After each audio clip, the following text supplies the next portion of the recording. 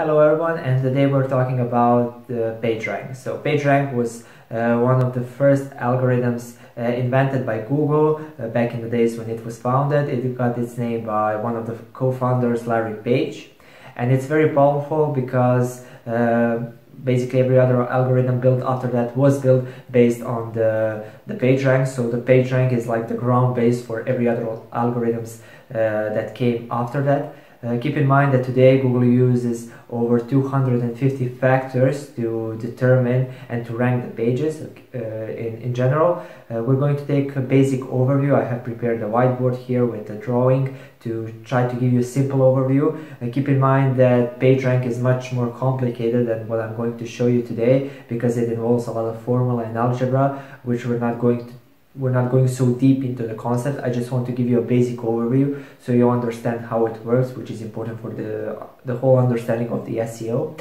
And uh, I'm going to explain one of its basic principles, and that is link building, okay?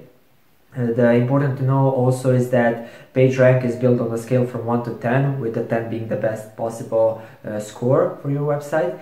And uh, before we start with the whiteboard and drawing, I just want to uh, explain you in three actions how uh, search works. So you have three actions, crawling, indexing and ranking. Okay, crawling is the first action where uh, Google releases bunch of little robots called crawlers or spiders and they go from the website to website with different links, they connect to different websites and they gather data. In the indexing second action, they store and organize the data and finally in the ranking process, they decide which website which data they're going to show you. So they rank them based uh, on on the relevance. And that is the most important part. So now we're going to take a look at the drawing that I have prepared to give you a basic overview of the page rank so here I prepared a drawing uh, like um, we can imagine this as a as a web and it has five websites okay?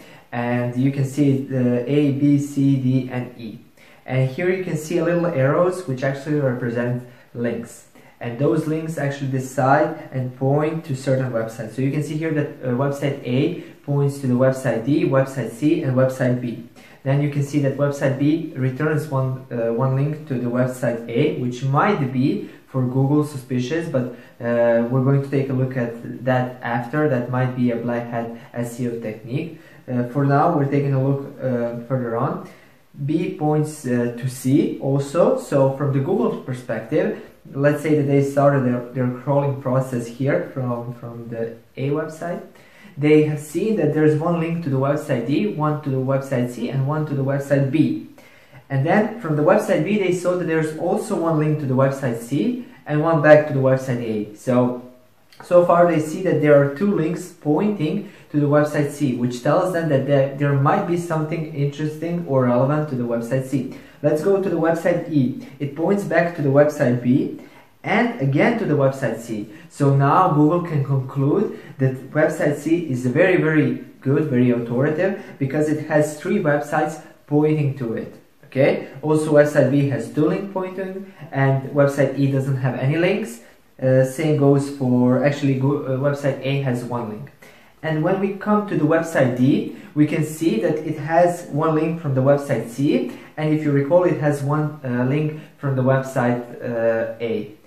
That tells us that although it has only two links, one of the links comes from the website C, which is very important in this situation because that website is very authoritative. So as Google sees it, so it's not just about uh, the quantity of links because it if the whole algorithm was just about the quantity and number of links, there then there could be a lot of uh, you know like um, bad things that other websites would do, those black hat SEO techniques, where people would be making deals on pointing to other links, or people would be making fake domains and just pointing to certain websites.